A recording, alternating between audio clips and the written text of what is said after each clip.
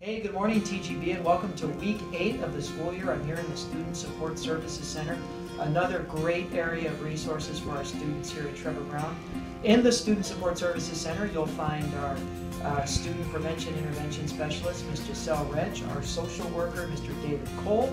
We have our two student liaisons, uh, Maria Tapia and Jennifer Gonzalez, and then we have our uh, community liaison, uh, Hinojosa. And they're all here for our students to provide incredible resources to kids and families.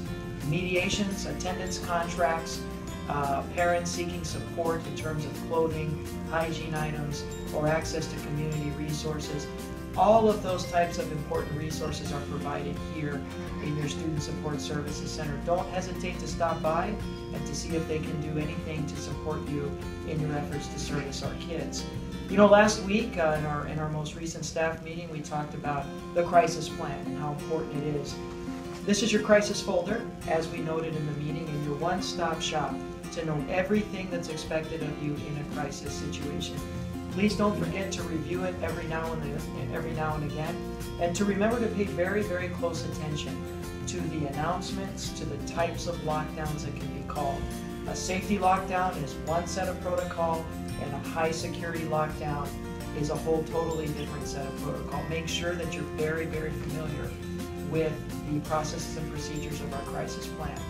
In a nutshell, you can help us, you can help the campus perform its absolute best and make sure that kids are at their absolute safest by playing your position. As a classroom teacher, as an administrator, as a counselor, as a support staff employee in any crisis. Teachers, that means making sure that you're familiar with your classroom's designated area on campus to report to in the case of an evacuation or a fire drill. It's a good idea to get, if you get an opportunity to take your class on a mini field trip.